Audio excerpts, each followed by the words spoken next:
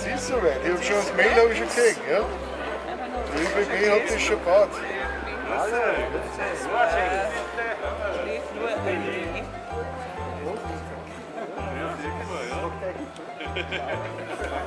Dass man über wie das mit der